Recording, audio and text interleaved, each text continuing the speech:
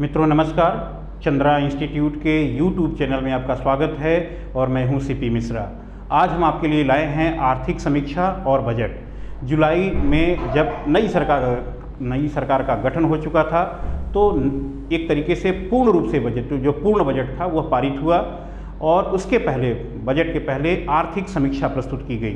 तो आर्थिक, इस वीडियो में हम आर्थिक समीक्षा और बजट ये दोनों चीज़ें देखेंगे क्योंकि यहाँ से क्वेश्चन काफ़ी पूछे जाते हैं।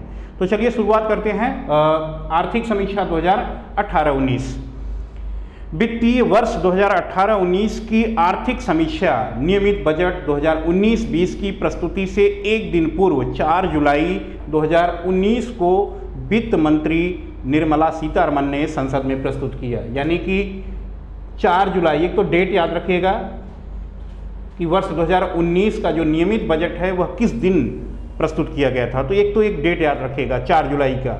4 जुलाई 2019 को वित्त मंत्री निर्मला सीतारमन ये हमारे नई वित्त मंत्री बनी है। निर्मला सीतारमन जो नई वित्त मंत्री मंत्री बनी हैं, इन्होंने 4 जुलाई 2019 को आर्थिक समीक्षा 2018-19 प्रस्तुत किया है। आर्थिक समीक्षा 2018-19 के अनुसार इस वित्तीय वर्ष में भारतीय अर्थव्यवस्था 6.8 परसेंट की वार्षिक वृद्धि प्राप्त कर सकी है। यानी कि जो 2018-19 की हमारी जो ग्रोथ रेट है, वह कितनी है? 6.8 परसेंट। तो इस पॉइंट को ध्यान में रखना है हमको। ऐसा पूछ सकता है कि वर्ष 2018-19 में भारतीय अर्थव्यवस्था की ग्रोथ रेट यानी विकास दर क्या थी? तो ये पॉइंट हमको ध्यान रखना है कि 2018-19 में जो भारतीय अर्थव्यवस्था है, वह 6.8 प्रतिशत की वार्षिक वृद्धि प्राप्त कर सकी थी। केंद्रीय सांख्यिकी कार्यालय यानी सीएसओ के आंकड़ों के हवाले से आर्थिक समीक्षा में बताया गया कि वर्ष 2018-19 में प्रचलित मूल्यों पर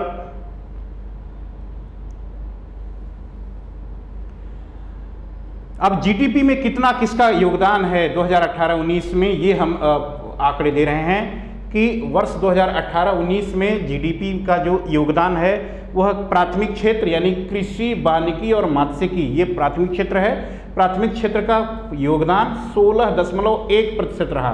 कृषि, वानिकी और मत्स्यिकी यानी कि प्राइमरी सेक्टर का जो योगदान था, वो 16.1 प्रतिशत था।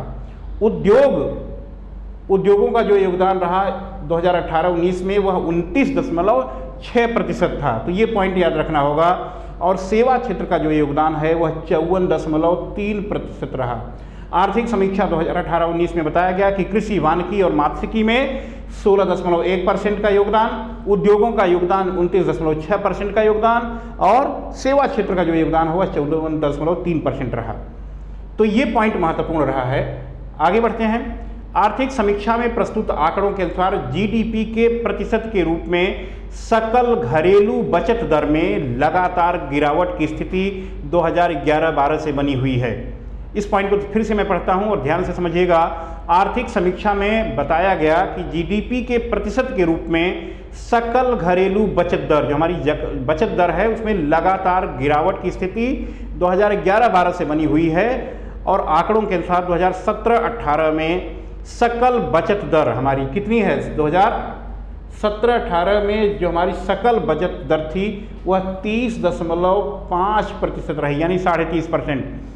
यह क्वेश्चन बराबर पूछा जाता है कि 2017-18 में ऐसा नया क्वेश्चन जो बनेगा करंट का, वही होगा कि 2017-18 में सकल बचत दर हमारी कुल कितनी है? तो ध्यान रखिएगा, ये प्रतिशत आपको याद रखना होगा, तीस दशमलव पाँच प्रतिशत सकल बचत दर रही है, जिसमें सार्वजनिक क्षेत्र का योगदान केवल 1.7 परसेंट एक दशमलव सात प्रतिशत सार्वजनिक क्षेत्र का बचत दर है। निजी क्षेत्र का जो बचत दर है, वो है ग्यारह दशमलव छः प्रतिशत और घरेलू क्षेत्र का बचत दर है, वो है सत्रह दशमलव दो प्रतिशत। दूसरा क्वेश्चन यहाँ से पूछा जाता है कि सर्वाधिक बचत किस क्षेत्र से की जाती है? सार्वजनिक क्षेत्र से, निजी निगम क्षेत्र से और घरेलू क्षेत्र से। तो सबसे ज़्यादा बचत किसमें हो रही है? घरेलू क्षेत्र में, यानी हम, आप जो बचत करते हैं, वह बचत सर्वाधिक है। जीडीपी दो आर्थिक समीक्षा के अनुसार 2018-19 में राजकोषीय घाटा जीडीपी का तीन दशमलव चार परसेंट रहा। ये पॉइंट भी ध्यान में रखना होगा। राजकोषी घाटा यदि हमसे पूछेगा तो राजकोषी घाटा 2018-19 में कितना रहा? तीन दशमलव चार प्रतिशत। केंद्रीय बजट 2018-19 में केंद्र सरकार का कर राजस्व बाईस दशमलव सात लाख करोड़ अनुमानित किया गया था, जो कि जीडीपी का बारह दशमलव एक प्रतिशत था। सकल कर राजस्व में इक्यावन प्रतिशत भाग प्रत्यक्ष करों से।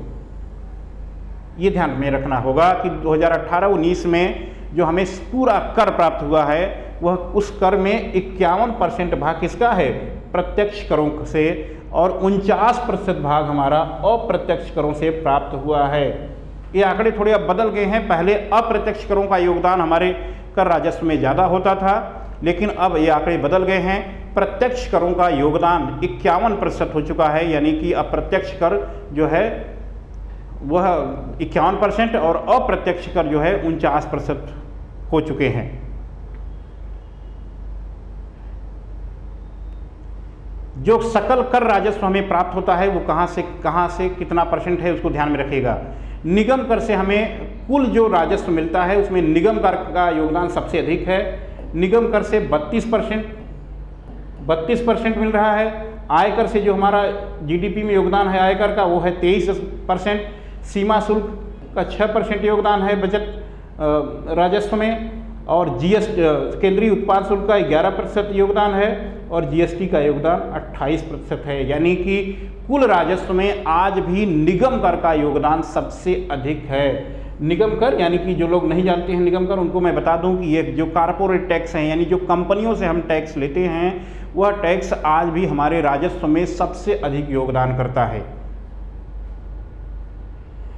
अगला पॉइंट है, भारत के विदेशी व्यापार के संबंध में बताया गया कि 2009-10 में भारत के वस्तुगत निर्यात, जहाँ 175.75 अरब डॉलर के थे, वहीं 2018-19 में बढ़कर 330.07 डॉलर के रहे।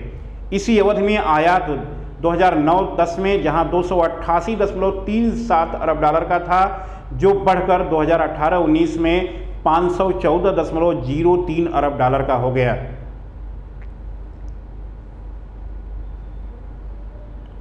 2018-19 में ये पॉइंट बड़ा महत्वपूर्ण है, बड़ा अक्सर पूछ लिया जाता है, इसलिए बहुत इंपॉर्टेंट पॉइंट है ये कि 2018-19 में शीर्ष वस्तुगत निर्यात, यानी हमारा सबसे ज़्यादा निर्यात किस वस्तु का हम करते हैं? किस वस्तु का निर्यात 2018-19 में हमने सबसे अधिक किया था? तो नंबर एक पर है पेट्रोलियम उत्पाद। ये ध्यान में रखना होगा, पेट्रोलियम उत्पाद का हमने सर्वाधिक निर्यात किया है और ये निर्यात हमारा हुआ है 2018-19 में छियालीस दशमलव चौवन अरब डॉलर का। दूसरा जो हमारा महत्वपूर्ण निर्यात है, वस्तुगत निर्यात है, वो है मोती मूल्यवान और अर्ध मूल्यवान पत्थर। यानी जो हम नग पहनते हैं, वो मोती और जो नग होते हैं, उनका निर्यात हमने दूसरे नंबर पर सर्वाधिक किया है, वो है पच्चीस दशमलव अट्ठानवे अरब डॉलर का। और तीसरा जो हमारा सर्वाधिक निर्यात हुआ है, वो है ड्रग फार्मुलेशन और जैविक पदार्थों का, और ये निर्यात हमारा चौदह दशमलव उनतालीस परसेंट रहा।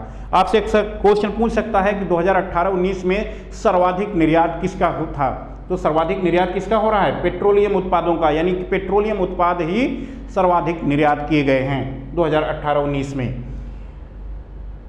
इसी वर्ष में आयात कितना अधिक किया कि, किसका हुआ है ये देखते हैं। 2018-19 में शीर्ष जो वस्तुगत आयात है उसमें भी आयात क्योंकि ये पहले से भी यही नंबर एक पर रहा है पेट्रोलियम यानी कच्चा तेल जो हम खरीदते हैं उसका निर्यात सबसे उसका आयात सबसे अधिक रहा।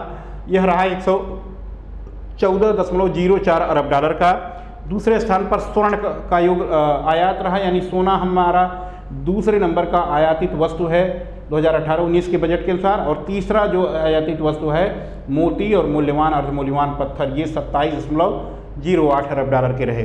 तो सबसे ज़्यादा जो आयात हुआ है, वो कच्चे तेल का हुआ है, यानी पेट्रोलियम कच्चे तेल का, और निर्यात भी पेट्रोलियम को हम रिफाइन करके उससे जो उत्पाद बनाते हैं तो उस उत्पाद को हम बेचते भी हैं, दूसरे देशों में निर्यात भी करते हैं, जिन देशों में वो नहीं पाया जाता है। इसलिए वह हमारा निर्यात जो है, पेट्रोलियम जो पदार्थों से निर्यात, निर्मित वस्तुएँ तैयार करके हम बेचते हैं, वह निर्यात हमारा सर्वाधिक निर्यात हुआ है। सर्वाधिक ऐसी वस्तु है जिसका सर्वाधिक निर्यात किया जा रहा है। यानी वस्तुगत निर्यात के मामले में भी हमारा पेट्रोलियम उत्पाद नंबर एक पर है, और कच्चा तेल तो हम सबसे ज़्यादा आयात करते ही हैं। अब 2018-19 में कौन कौन से देश थे जहाँ हमने सर्वाधिक निर्यात किया है? निर्यात यानी अपना सामान दूसरे उस देश में भेजा है। तो 2018-19 में हमारा सबसे प्रमुख निर्यातक देश रहा है संयुक्त राज्य अमेरिका, यानी यूएसए में बावन दशमलव बयालीस अरब डॉलर का हमने निर्यात किया है। दूसरा हमारा निर्यातक देश रहा है संयुक्त अरब अमीरात, जिसे यूएई कहते हैं, और यहाँ हमारा निर्यात रहा तीस दशमलव ज़ीरो नौ अरब डॉलर का। और तीसरे नंबर पर चीन का स्थान रहा है, जहाँ हमारा सर्वाधिक निर्यात हुआ है सोलह दशमलव सात पाँच अरब डॉलर का। तो ये हमारे प्रमुख निर्यातक, तीन प्रमुख निर्यातक देश हैं, जहाँ पर हम सर्वाधिक निर्यात किए हैं 2018-19 में, वर्ष 2018-19 में। तो नंबर एक पर संयुक्त राज्य अमेरिका, नंबर दो पर संयुक्त अरब अमीरात, और नंबर तीन पर चीन। इसी वर्ष में, यानी 2018-19 में ही प्रमुख आयातक देश कौन कौन से रहे? यानी सबसे अधिक सामान हमारे यहाँ कहाँ से आया? इस वर्ष में। तो चीन नंबर एक पर है। सत्तर दशमलव बत्तीस अरब डॉलर। इतने अरब डॉलर का हमारे यहाँ चीन से सामान आयात हुआ है। यानी हमारा सबसे बड़ा आयातक देश जो है वह चीन है। दूसरे नंबर पर संयुक्त राज्य अमेरिका रहा, जहाँ से पैंतीस दशमलव पचपन अरब डॉलर का सामान आया। और तीसरा संयुक्त अरब अमीरात रहा, जहाँ इक्कीस दशमलव चौहत्तर अरब डॉलर का तेल मंगाया गया। कुल मिलाकर तेल ही आता है यहाँ से। तो चीन और संयुक्त राज्य अमेरिका, संयुक्त अरब अमीरात, ये तीनों देश नंबर एक, नंबर दो और नंबर तीन पर प्रमुख आयातक देश रहे।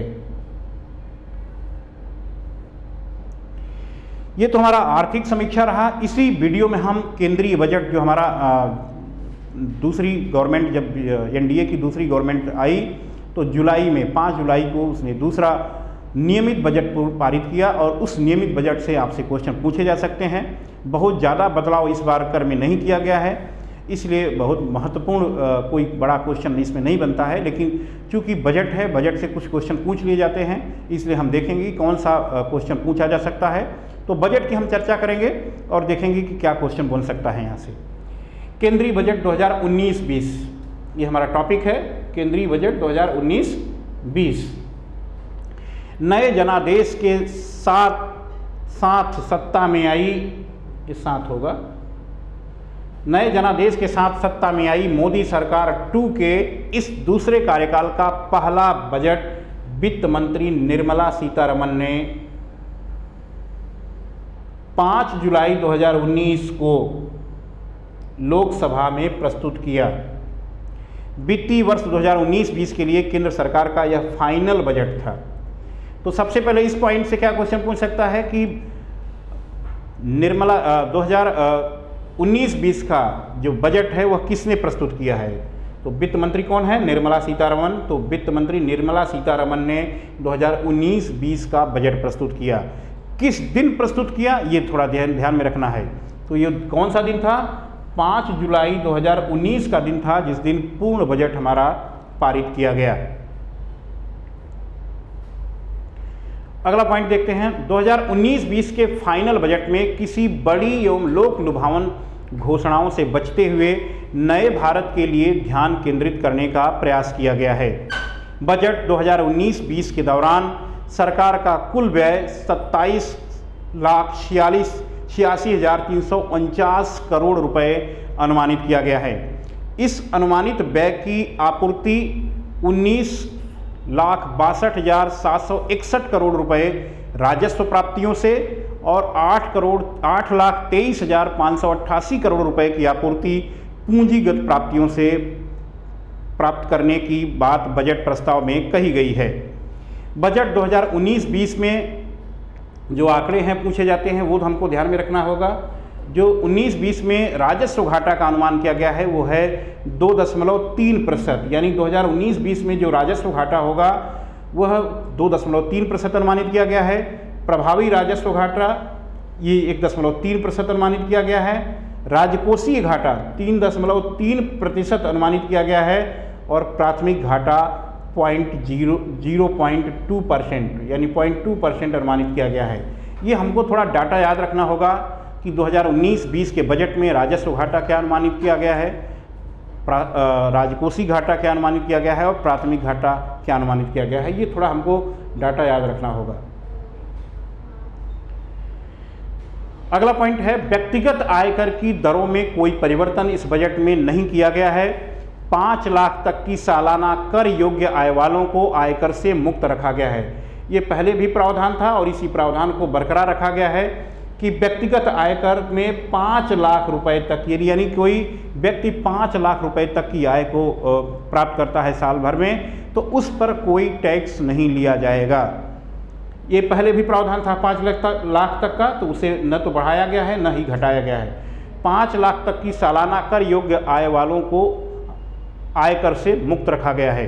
तो ये भी ध्यान रखिएगा, यहाँ से क्वेश्चन पूछ सकता है कि व्यक्तिगत आयकर में कितने लाख रुपए तक की छूट दी गई है? तो आ, पाँच लाख रुपए तक की छूट है, इसको आप ध्यान में रखेगा कर की सभी दरों को पूर्ववत रखते हुए एक करोड़ सालाना सॉरी एक करोड़ सालाना आय वालों पर सरचार्ज में वृद्धि की गई है। इस बजट में थोड़ा परिवर्तन ये किया गया है कर में कि, जिनकी आय, सालाना आय एक करोड़ रुपए या उससे अधिक है, उस पर जो सरचार्ज लगाया जाता है तो इस सरचार्ज में इस बजट में वृद्धि की गई है। क्या वृद्धि की गई है? एक करोड़ से दो करोड़ आय वालों पर, जिनकी आय एक करोड़ से दो करोड़ रुपए के बीच है। अब सरचार्ज 15 प्रतिशत के स्थान पर, पहले 15 परसेंट देना पड़ता था, के स्थान पर 25 प्रतिशत कर दिया गया है, इसको पॉइंट करना है। एक करोड़ से दो करोड़ आय वालों पर जो सरचार्ज लगता था, पहले यह सरचार्ज 15 परसेंट था इसे बढ़ा करके 25 प्रतिशत कर दिया गया है। तथा दो करोड़ से अधिक आय की स्थिति में सरचार्ज सैंतीस प्रतिशत कर दिया गया है। ये थोड़ी बदलाव किए गए हैं, लेकिन बड़ी आय वालों के लिए किए गए हैं। 2019-20 का जो बजट है, इसमें हम एक आकलन करेंगे कि जो हमारा रुपया है, यह कहाँ से आता है? मतलब जो आय हमारी है, वह कहाँ से कितनी आय प्राप्त होती है? यदि हम कुल आय को एक रुपया माने तो हमारी कितनी आय कहाँ से हो रही है, इसको हम ध्यान देंगे। तो देखते हैं कि कहाँ से कितनी आय हो रही है। हमारी कर भिन्न जो राजस्व है, वो हमारा कर से अलग भिन्न राजस्व है, वो है नौ पैसा। नौ पैसा हमें प्राप्त होगा कर भिन्न राजस्व से। उन्नीस पैसा प्राप्त होगा हमको जीएसटी से, वस्तु एवं सेवा कर से। केंद्रीय उत्पाद शुल्क से हमको आठ पैसा प्राप्त होगा। सीमा शुल्क से हमको चार पैसा प्राप्त होगा। आयकर से सोलह पैसा प्राप्त होगा। निगम कर से 21 पैसा प्राप्त होगा। आप देख रहे हैं आ, उसके पहले भी हमने आर्थिक समीक्षा में बताया था कि सबसे ज़्यादा आय हमारी कहाँ से प्राप्त होती है? कारपोरेट टैक्स से जो कंपनियों द्वारा टैक्स वसूला जाता है यानी जिसे हम निगम कर कहते हैं तो निगम कर से सबसे ज़्यादा आय प्राप्त होती है और 21 पैसा है। उधार एवं अन्य देवताओं देयताओं से हमको 20 पैसा प्राप्त हो रहा है और ऋण भिन्न जो पूंजी प्राप्तियाँ हैं वो हमसे वहाँ से हम तीन पैसा प्राप्त करते हैं। तो ये हमारा रुपया हमारा एक रुपया यदि हम कमाएँगे तो वो कहाँ से, यदि हम पूरे बजट को एक रुपया माने तो कहाँ से कितना पैसा हम प्राप्त कर रहे हैं? अब इस बजट में बताया गया है कि हम 2019-20 के बजट में रुपया कहाँ खर्च किया जाएगा। तो हमारा जो है बजट 2019-20 के अनुसार रुपया कहाँ जाएगा, कहाँ कहाँ कितना खर्च होगा? तो देखिए कहाँ कितना खर्च हो रहा है।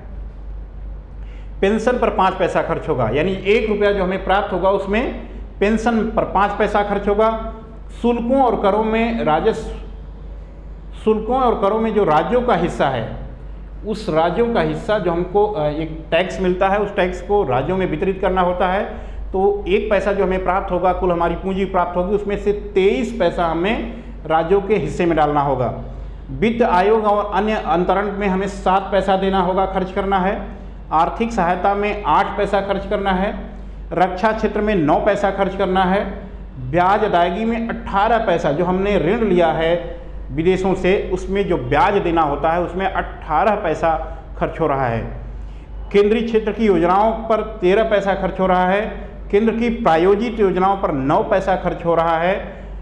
अब ये आप सोचेंगे कि दोनों एक ही चीज़ है। ये केंद्र की नई योजना पर है और ये प्रायोजित योजना जो पहले से चली आ रही योजना है, उस पर नौ पैसा है और अन्य व्यय हमारा आठ पैसा है। तो ये हमारा बजट जो 2018-19 के अनुसार हमारा पैसा कहाँ कितना खर्च होगा तो ध्यान रखेगा, जब भी ऐसा पूछा जाएगा 2018-19 के बजट में सबसे ज़्यादा खर्च कहाँ पर हो रहा है तो करों में जो राज्यों का हिस्सा है, इसको निकाल दिया जाता है, क्योंकि यहाँ भी बजट जो है इसको माना नहीं जाता क्योंकि यह राज्यों को ही वितरित किया जाता है तो एक मिलाकर पैसा राज्यों के पास पहुँचता है। तो हमारा जो सबसे ज़्यादा खर्च है वह है ब्याज अदायगी पर। 18 पैसे हमारा खर्च होता है। आज भी जितना बजट हमारा जितना हमें, हमारी आय प्राप्त होती है, उस आय में हमारा सबसे जो बड़ा व्यय है, वह ब्याज की अदायगी पर ही है। अर्थव्यवस्था की स्थिति पर प्रकाश डालते हुए वित्त मंत्री निर्मला सीतारमन ने अपने बजट भाषण में बताया कि 2014 में उनकी सरकार के गठन के वर्ष भारतीय अर्थव्यवस्था का आकार 1.85 ट्रिलियन डॉलर। जब 2014 में पहली बार सरकार का गठन हुआ था, एनडीए सरकार का तो उस समय भारतीय अर्थव्यवस्था 1.85 ट्रिलियन डॉलर थी। जो पाँच वर्षों में बढ़कर 2.7 इस पॉइंट को भी ध्यान रखना है कि 2.7 ट्रिलियन डॉलर हो चुकी है और वर्तमान में यह सातवीं बड़ी अर्थव्यवस्था हो चुकी है। इस वित्तीय वर्ष में तीन ट्रिलियन डॉलर हो जाने का अनुमान है। इस पॉइंट को भी आपको ध्यान में रखना होगा। वित्त मंत्री के अनुसार बजट 2019-20 में हमारी भारतीय अर्थव्यवस्था कितने ट्रिलियन डॉलर होने की का अनुमान है, ऐसा क्वेश्चन पूछते हैं। तो आप बताइएगा कि तीन ट्रिलियन डॉलर हो जाने का ये अनुमान है बजट 2019-20 के अनुसार।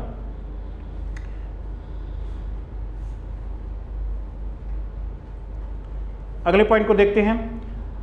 1.5 करोड़ तक के वार्षिक कारोबार वाले खुदरा व्यापारियों व छोटे दुकानदारों के लिए प्रधानमंत्री कर्मयोगी मानधन योजना नाम से नई पेंशन योजना की घोषणा की गई है। इस पॉइंट को ध्यान में रखिएगा।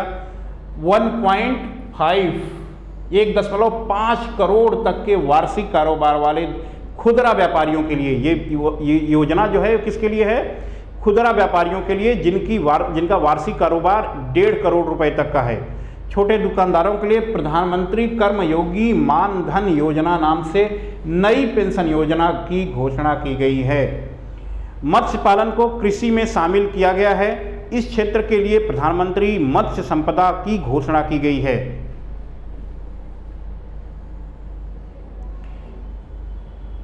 किसानों के लिए बड़े पैमाने पर उत्पादन के लाभ सुनिश्चित करने के लिए अगले पाँच वर्षों में दस हज़ार किसान उत्पादक संगठनों के लिए, अगले पाँच वर्षों में दस हज़ार किसान उत्पादक संगठनों के गठन की योजना की घोषणा की गई है कि अगले पाँच वर्षों में दस हज़ार किसानों को को एक उत्पादक संगठन के रूप में संगठित किया जाएगा।